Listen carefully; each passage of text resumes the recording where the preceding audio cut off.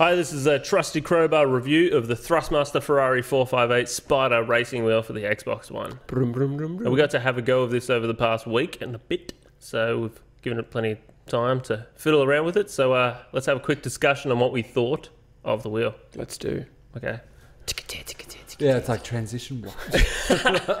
All right, so let's start off with basically like the physical characteristics and stuff of it. So, what, what are your thoughts, guys, on, on the actual wheel, like the, the actual steering wheel itself? Oh, the wheel. That's right. itself. Turn it away from the camera, Yeah, but I that's fine.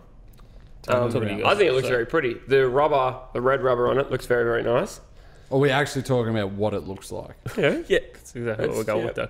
Okay. So the the aesthetic of the wheel is actually kind of Quite really good. Like. I like the red and the black, like the contrast between Yeah. the two is quite nice, especially with the the metal um, flappy paddles that we got at the back. Now they're actually 100% metal, They're And- aluminum. and playing yeah, and playing with them as opposed to just plastic ones, they feel a lot better. Yeah, I was like really smashing them when I was changing gears, and they felt like yeah, they would take a flogging. Which is- what you They are quite tough. No, like you, yeah. I feel over extended use that they would definitely hold up. Let's click it for everyone. And the actual feel, the actual look of it is, and you took the piss out of me when we did an unboxing, was is from. Oh, I wish you. Had, what car was it that? It was from the Ferrari 458. Oh, There you go.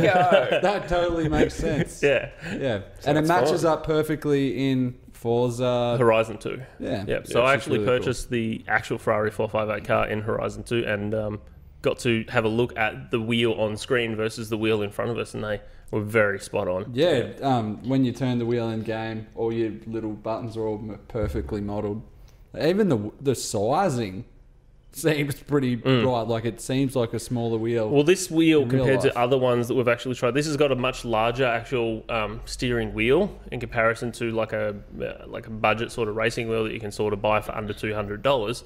Um, those wheels are usually smaller, whereas this is a full Yeah, um, this like steering realistic size. twenty eight centimeter diameter, twenty eight centimeter diameter racing wheel Diameter. with What rubber did you say? rubber textured grip. yeah, and the I wanna actually feels comment very on that, comfortable. actually, the the rubber was really good to use. geez, right. I just like burped halfway through, but held it in. No one ever noticed. No, of course not. noticed.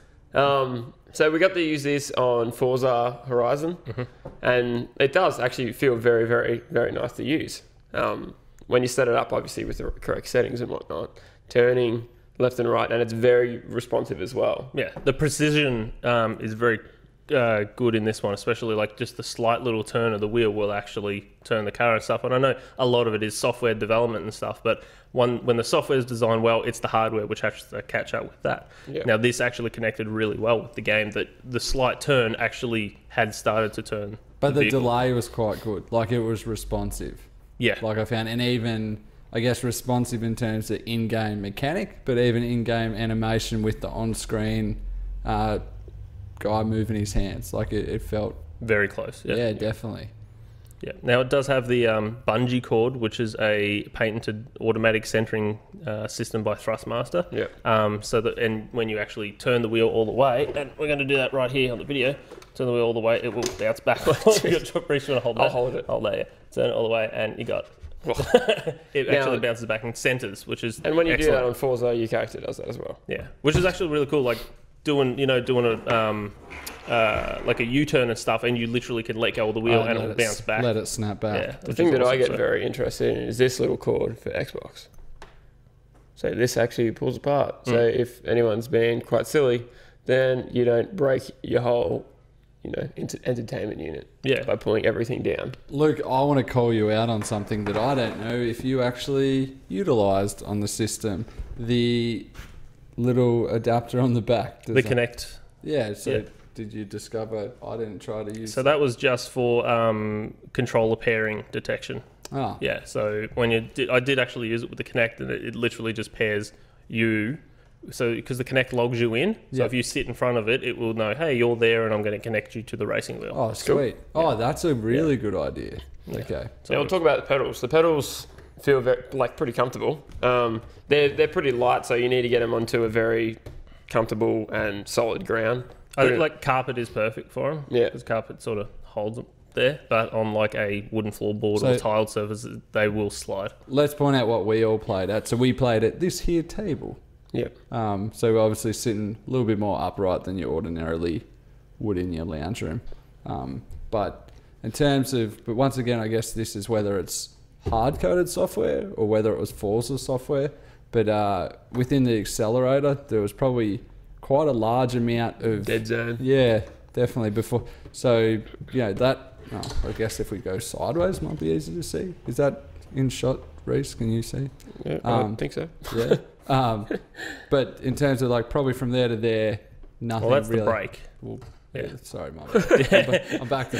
You're like, But, I wasn't driving. uh, yeah. Uh, that's why we weren't going anywhere. So yeah, there Um, was like at least maybe uh, thirty to forty percent of the initial press down Yeah, was- a dead zone for it, Yeah. and doesn't have much progression in terms of the acceleration for it. Yeah. However, the uh, so but when you do get past that initial percentage there, there is a progressiveness to Yeah, like no, the was- speed that you can go. It was actually really good, but um, in terms of it was really good increments. However, because it was then relatively short of what it had left, it was then if you wanted to hold yeah.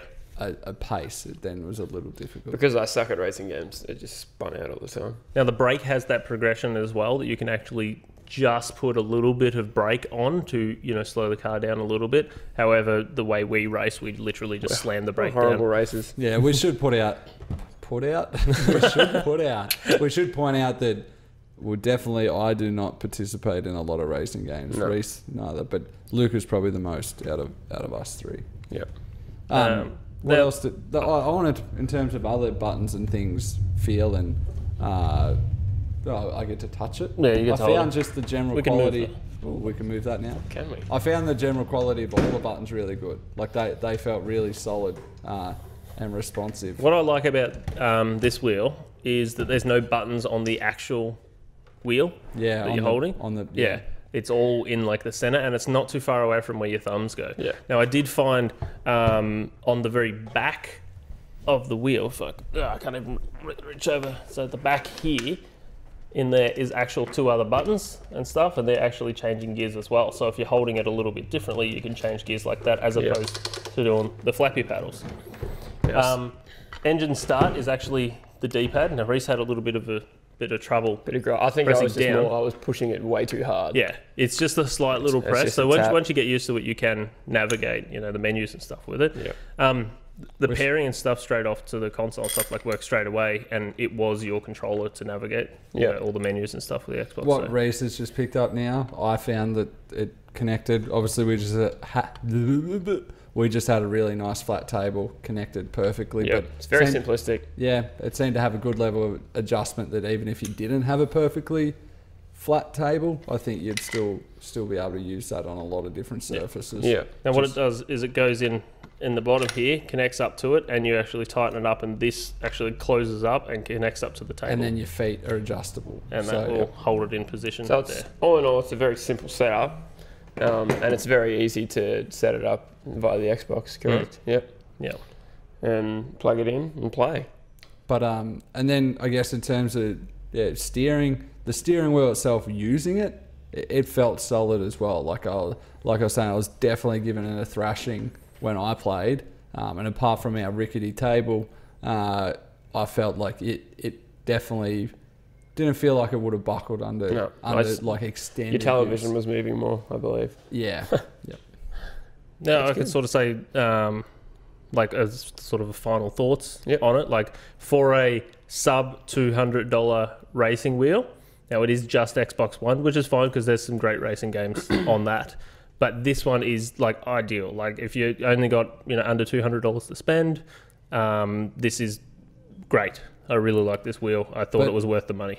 I think um, you probably not for the necessarily for the, the most serious fan. Like you, you'd probably spend more. Like for probably someone like Reese or I, like you know, I enjoyed using it. You Yeah. know, I don't know if I needed anything more, so I don't know. I think it's a how more good s- entry level. Yeah, definitely. Yeah. I would totally agree Yeah, with that. and you're not wasting your money for like the price that it is. It's, it's great. The um the pedals are fine, even though there is a bit of you know the dead zone and stuff, um, especially when you're pushing down on it. But works But let's, fine. let's just say, when you play racing games, you go pedals at the moment. Yeah. But I think we do. That's what we're about. I think that's probably good. Like just so you you do have to apply a little bit of pressure. Like it was probably more just getting used to it, like Yeah. more than anything. It's a learning curve. That's that's the thing. When you go from a controller to an actual steering wheel and pedals, that happens.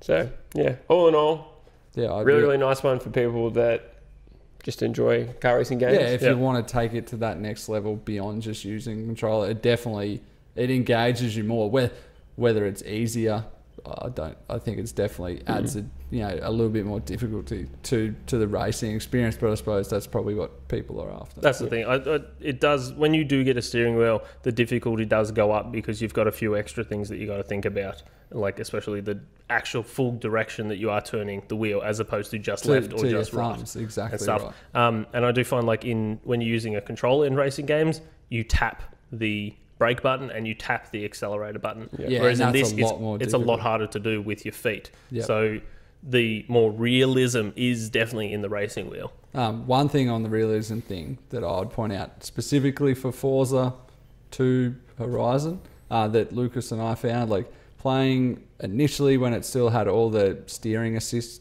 modes on, definitely was nowhere near the same experience once you switched on simulation mode, disabled stability control, ABS brakes. Um, it definitely become a whole lot more fun to play with these. Yeah, most Yeah. racing games try to carry you through, especially with a controller. Whereas Yeah. if you turn all that off, the the steering wheel becomes more of an actual steering I wheel. think if it. anything, it was probably almost detrimental because you would do something and you weren't probably getting that Yeah. one to one. You would think that you should, like, as a person that can drive a car, when you go around a corner, you think you should be steering back. However, the game would decide different type of patterns and stuff for you. but for the average person home, like you would have stability control on in your car and, a lot, and Yeah. traction control. But it's definitely worth like for anyone that did purchase this, that'd be and specific on Forza, and I guess if any other games, I'd definitely say a lot more fun with uh, it turned into that mode. Even and that's from someone that's not hardcore racing fan. Yeah. Yeah. So that that would be my one little tip of the day. Cool. Now this steering wheel retails for 199.95 in Australia. You can check it out from JB Hi-Fi or EB Games um, or Thrustmaster themselves. Suss it out. Yeah. Cool. Go buy one. We also did an unboxing video of this, so you can check it out. Here. On this video link here. It'll be Thanks for tuning in to our Trusty Crowbar review of the Thrustmaster Ferrari 458 Spider racing wheel Did you get it right? for the Xbox One. Did I? Yeah, I did. think so. Yeah. Awesome. And I want Good to job. say, I'm Douglas Bright. I'm Reese Whittingslow. And I'm Lucas Winningsley. Thanks for tuning in. Thank you. Bye.